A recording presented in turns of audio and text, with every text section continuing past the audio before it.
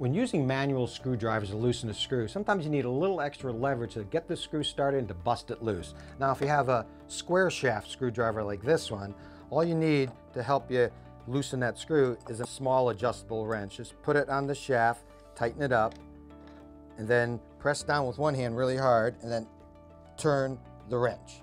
And once you get it started, there you go. Loosens up enough that you can pull it out the rest of the way.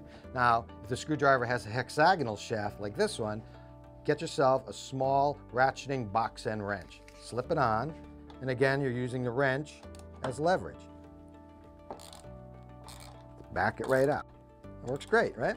Now, but what do you do if you have a round shaft screwdriver? A lot of screwdrivers have round shafts and the wrenches won't work, but you can work really well if you get a pair of locking pliers. Just lock it on back out the screw.